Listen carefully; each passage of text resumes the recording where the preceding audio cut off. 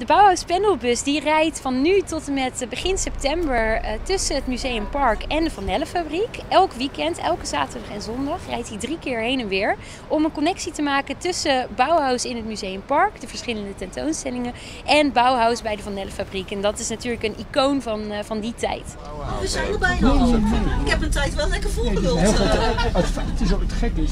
En wat typeert nou echt de Bauhaus? De hele vernieuwende manier waarop daar uh, les werd gegeven eigenlijk en waarop er over vormgeving werd nagedacht. En een stoel zag er, zag er altijd hetzelfde uit en wat, uh, wat er tot dan toe werd ge gedaan, werden alleen verschillende ornamenten gemaakt. Maar in Bauhaus werd echt nagedacht, wat is een stoel? Wat is zitten? En welke materialen heb ik tot mijn beschikking en wat, wat kan ik daarmee? Toen uh, de plannen werden gesmeed om dit gebouw, de, deze fabriek te ontwerpen, zijn de directeur van de fabriek, Kees van der Leeuw, en de architect van de Vlucht, zijn naar Dessau, naar het Bauhaus gereisd, om te kijken hoe die school gebouwd was. En daar hebben ze zich heel erg door laten inspireren. Je kan bijvoorbeeld, belangrijk is dat je de diverse functies van de fabriek zijn duidelijk onderscheiden aan de buitenkant. En dat is iets wat je bij, bij het Bauhaus in Dessau ook ziet.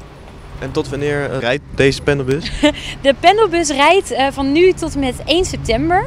Uh, elke zaterdag en zondag drie keer heen en weer tussen het Museumpark en de Van Nellenfabriek.